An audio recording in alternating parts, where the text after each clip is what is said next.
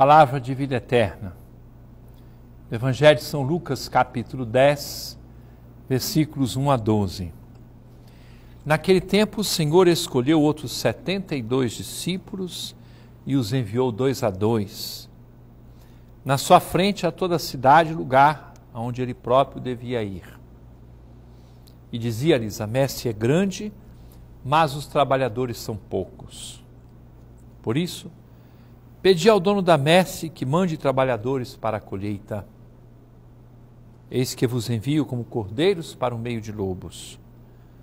Não leveis bolsa, nem sacola, nem sandálias, e não cumprimenteis ninguém pelo caminho.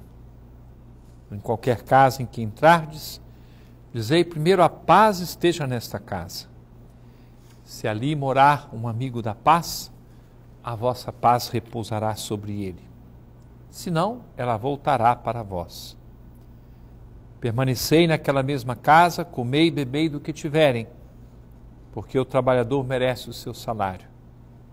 Não passeis de casa em casa.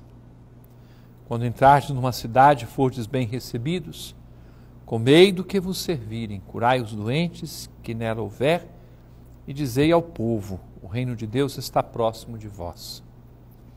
Mas quando entrardes numa cidade não fordes bem recebidos, saindo pelas ruas, dizei: até a poeira de vossa cidade que se apegou aos nossos pés, sacudimos contra vós. No entanto, sabei que o reino de Deus está próximo.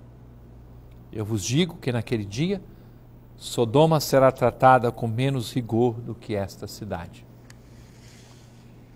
Caríssimo irmão, caríssima irmã, nós somos chamados como trabalhadores na messe do Senhor cada um com a própria vocação, estilo, idade, condição social, formação, mas todos recebemos um chamado de Deus. Ninguém pode se excluir desta responsabilidade, desta tarefa.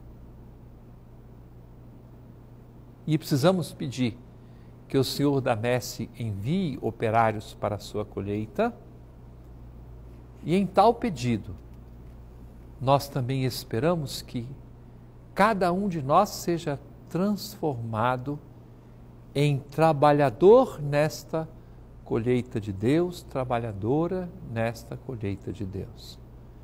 Que cada um de nós mude os seus critérios, saia do acomodamento e se lance, considerando cada realidade cada ambiente em que você se encontra como um espaço para você ser missionário.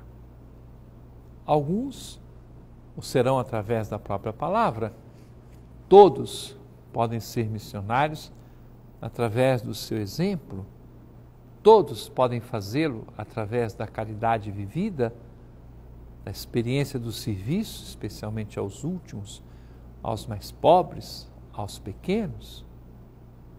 Todos podemos fazer essa experiência de serviço humilde e alegre às outras pessoas. Que nosso Senhor desperte em nós esta sensibilidade para nos tornarmos operários, trabalhadores, dedicados, empenhados no serviço do Reino de Deus. É palavra de vida eterna.